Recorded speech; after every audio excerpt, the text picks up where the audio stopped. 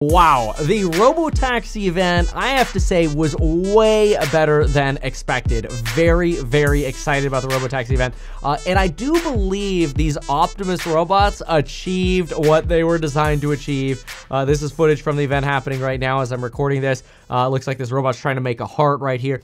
Uh, I do believe all of the robots right now are human controlled.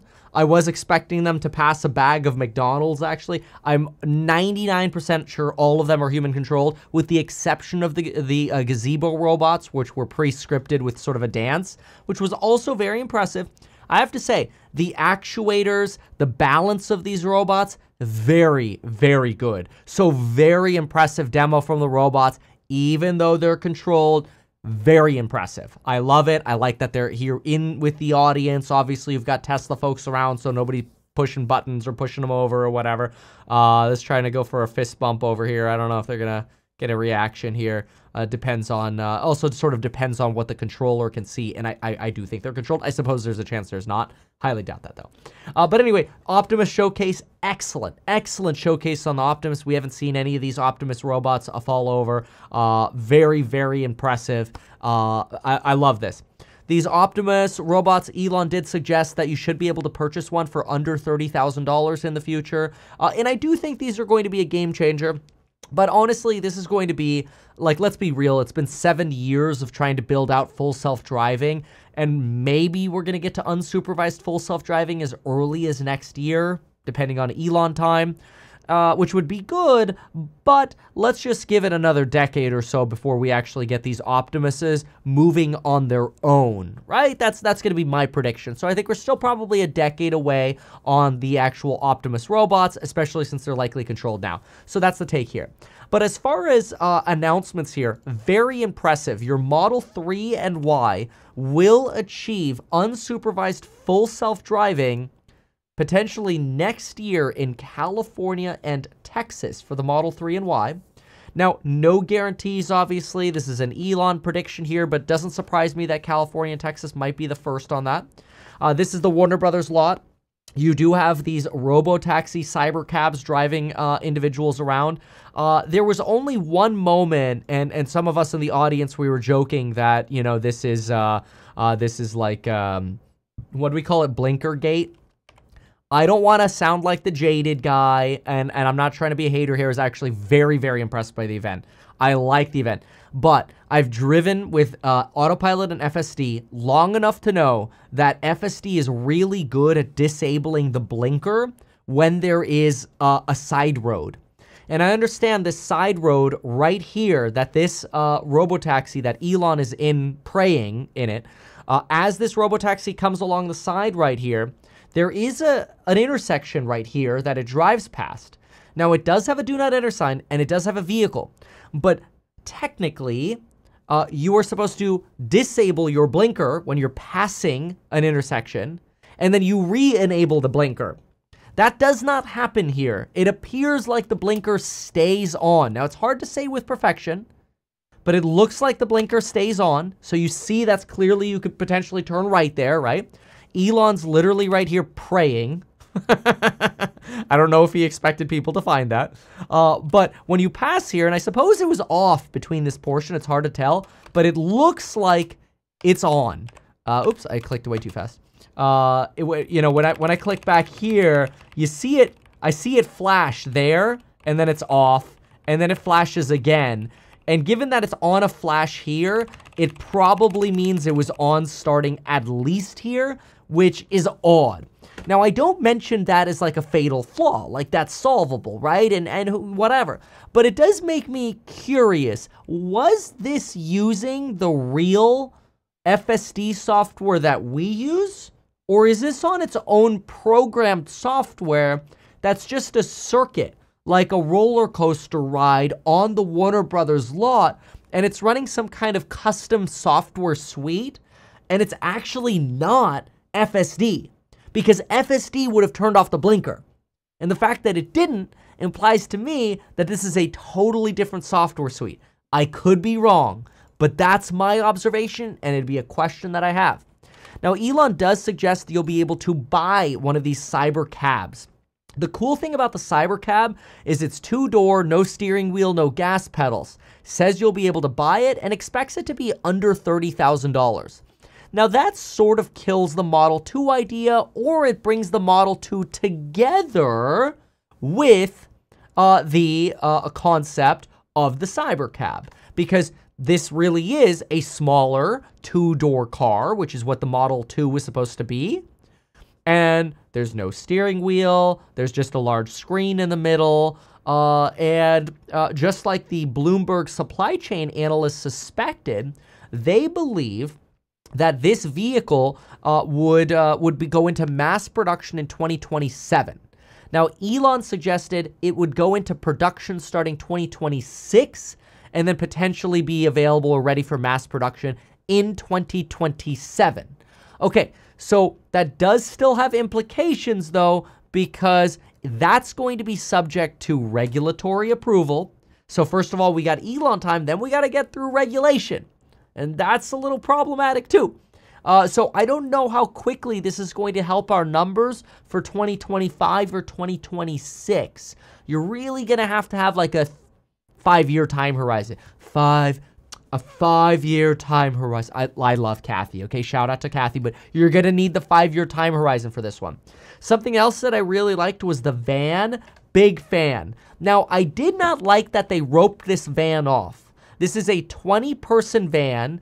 You can actually see there's no profile at the bottom. I don't see wheels here. Now, it could be underskirting, but I'm sussed out. I actually think this is probably robo-controlled, like remote, like somebody's controlling this with a joystick.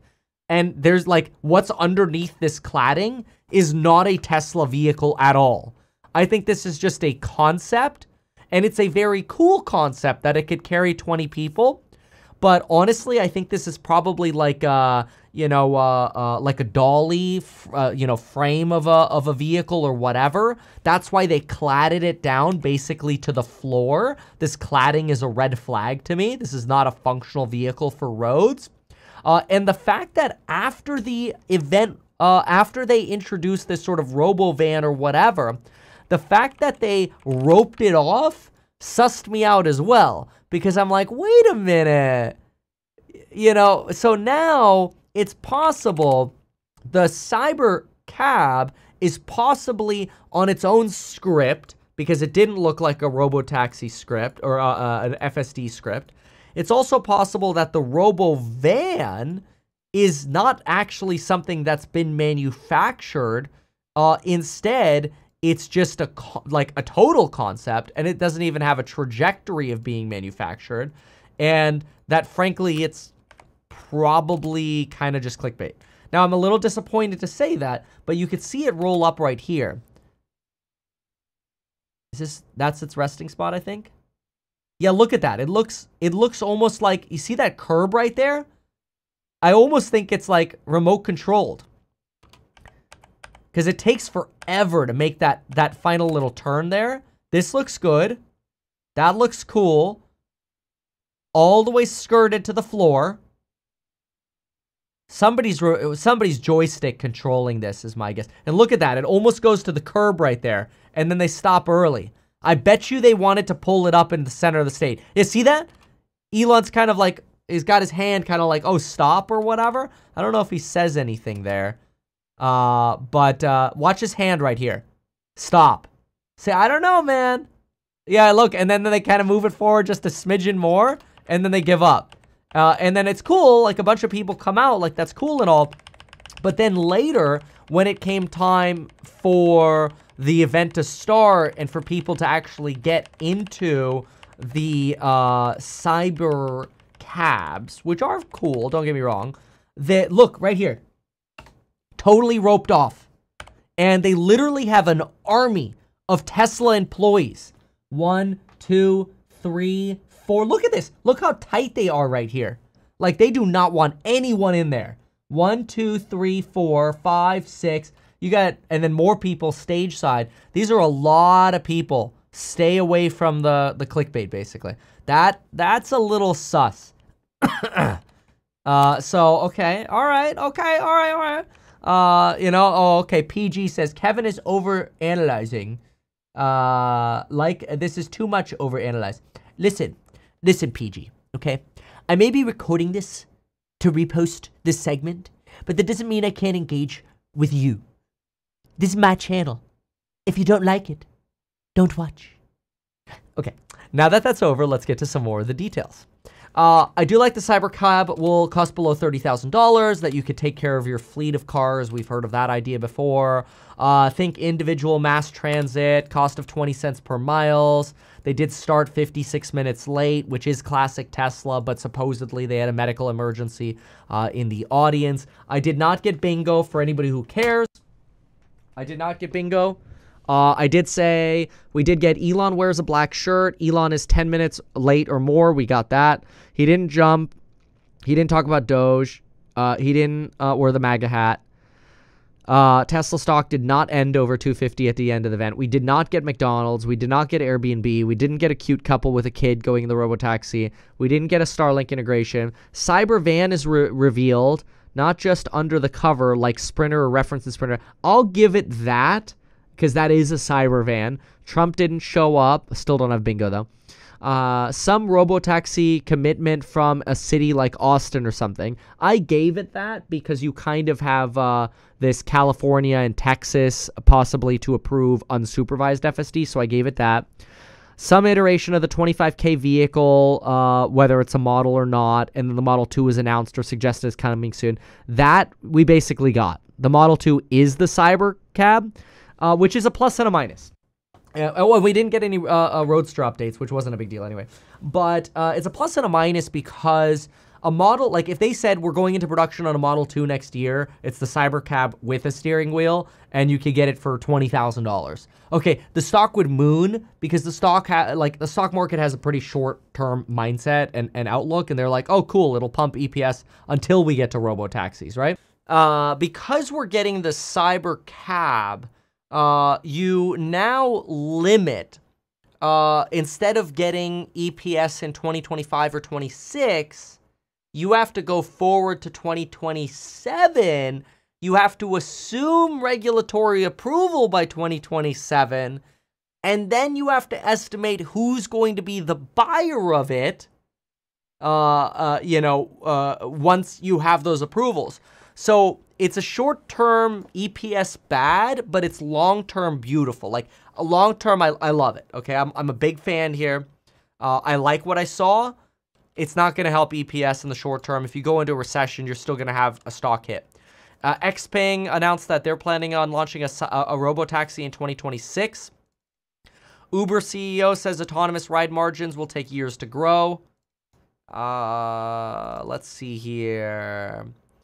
They have 50 autonomous cabs there. They said, oh, this was another prediction that I had, that they would end up using a different computer in the cyber cab. And it's true. They're using a quote, over-spec AI5 computer in the cyber cab, which would kind of reiterate why you probably have this running on a totally different pre-programmed path. Like I don't I don't act I hate to say it, but I don't actually think there's AI in those robo taxis driving around, I think they're pre-programmed. Uh, so I don't think that's FSD, and uh, yeah, not not great. Now look at this guy, Super Air Netique donated two times ten dollars to ask me how big my short position is. I told you when I started this event, but you weren't paying attention because he's a hater. I told you I don't have a put, I don't have a call. I have no horse in this race. I got nothing betting on this event. Nada. Nothing. I don't bet on events. Uh, it's it's unpredictable what happens at events. That's not how I like to trade. I like to trade when I see trends, you weenie baby. You little weenie baby. Somebody tries to tell you the truth and you don't like it. You're like, yeah, Kevin said something I didn't want to hear. Go suck it. Get out of here. And I'm taking your $20. I'm going to take your $20 and then I'm going to short the stock just with those $20. I'm just kidding. I'm not going to do that. But I will take your $20.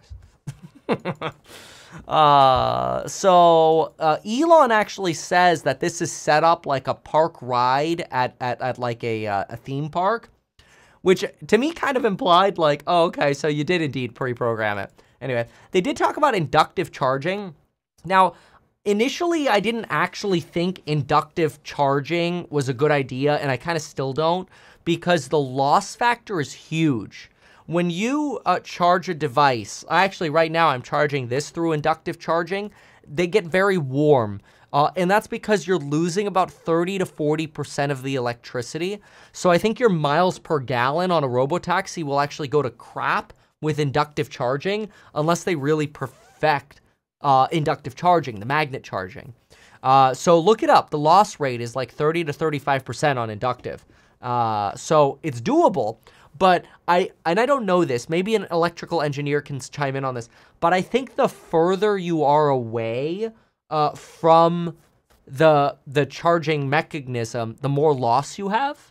So, you know, I don't know if like an inductive charger has to like come up out of the ground to like charge the car and like directly contact the car, probably. But, or if there's just going to be a large enough field and the car is low enough, but then I feel like the loss is going to be like 50%. So I'm not convinced about that. So that's it. So, I mean, look, my take overall, uh, and you can copy my bingo card or my notes off ehack.com. I'm not trying to sell you anything. I got nothing for you to sell. And like I said, I don't have any long or short, you know, positions on this event, calls, puts, whatever. Um, my long and short of the event, to use that phrase, is uh, it was very impressive. Uh, I I did like what I saw, and I love the vision they painted. Uh, I don't think we're close enough to realistically price in the earnings per share. And because we've basically now, basically we confirmed the death of the Model 2, right? Like the Model 2 is basically confirmed dead now. So if the Model 2 is confirmed dead, then we have to delay a sales boost until the Cybercab is regulatorily approved. Uh, and given that this was probably on a script, you probably have to really have that unsupervised FSD in California and Texas go really well. Uh, if that unsupervised FSD, which is step one, goes really well, then you can install that on the RoboCab. That'd be sort of my expectation. So I think probably 2028 is more realistic, which is actually a lot earlier than I thought for a Robotaxi. Uh, I didn't think it was going to happen this decade. I thought it would be at least 2030. I think they might be closer here. Uh, so I think that's good. I think the van is a cool idea, but it's it's not probably a, until 2030 plus. We didn't get any updates on the semi, which I was a bit bummed about. And yeah, I guess that's sort of uh, my take. Uh, my take. Those are my thoughts. Appreciate y'all being here and, and watching with me, and uh, hopefully you like uh, my ideas. Uh, anyway, thank you so much, folks, and we will uh, see you in the next one. Goodbye, everyone, and good luck not advertise these things that you told us here? I feel like nobody else knows about this. We'll, we'll try a little advertising and see how it goes. Congratulations, man. You have done so much. People love you. People look up to you. Kevin Paffrath there, financial analyst and YouTuber. Meet Kevin. Always great to get your take. Even though I'm a licensed financial advisor, licensed real estate broker, and becoming a stockbroker, this video is not personalized advice for you. It is not tax, legal, or otherwise personalized advice tailored to you. This video provides generalized perspective, information, and commentary. Any third-party content I show shall not be deemed endorsed by me. This video is not and shall never be deemed reasonably sufficient information for the purposes of evaluating a security or investment decision. Any links or promoted products are either paid affiliations or products or services we may benefit from. I also personally operate an actively managed ETF. I may personally hold or otherwise hold long long or short positions in various securities, potentially including those mentioned in this video. However, I have no relationship to any issuer other than Househack, nor am I presently acting as a market maker. Make sure if you're considering investing in Househack to always read the PPM at househack.com.